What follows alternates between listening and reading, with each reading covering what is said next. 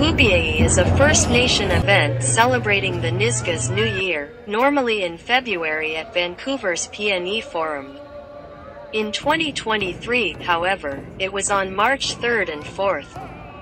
It features indigenous dance groups from across BC province, including Gitxsan Nation, in the Skeena region of northern BC, the local Skwxwu7mesh, Squamish, Nation, Tsimshian from northern coastal BC, Lil'wat from just north of Whistler, Xaadas from Haida Gwaii, and many more.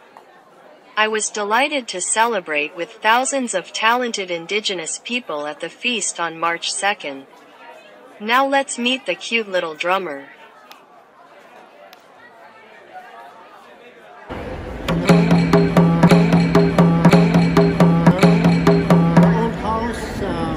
big house. It's the biggest house in the community.